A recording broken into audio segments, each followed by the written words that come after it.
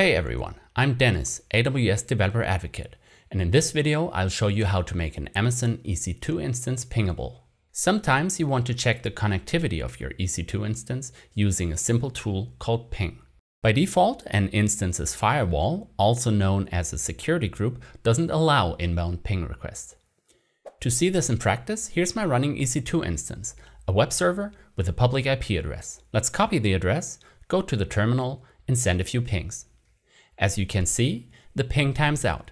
All packets are lost. Let's go back and see why we can't ping the instance.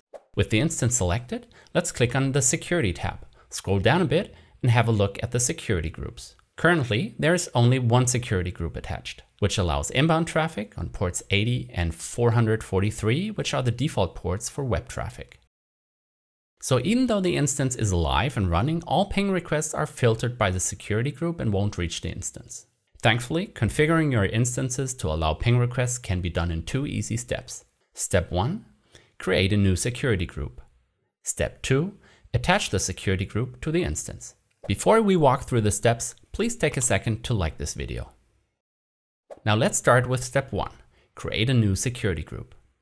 To do this, go to Network and Security in the navigation and click on Security Groups. This will open a list of available security groups. Let's click on Create Security Group, give it a name and a brief description. Now let's scroll down and add an inbound rule. Click on Add Rule and select Custom ICMP IPv4 from the dropdown. ICMP stands for Internet Control Message Protocol, which has tools to diagnose network communication issues, like ping. We could allow all ICMP requests, but in this case we want to restrict it to ping only. Technically, the ping request is an echo request, so let's select this as the protocol. Next we'll set the source, which means from where should these requests be allowed. It is a security best practice to restrict access to only where it's necessary, so I will choose my IP. Scroll down and click Create Security Group. Now we can go back to the instance list for step 2, attach the security group to the instance. Make sure the instance is selected and click on Actions, Security, Change Security Groups. This will open a new window with the associated security groups. An EC2 instance needs at least one, but can have multiple security groups.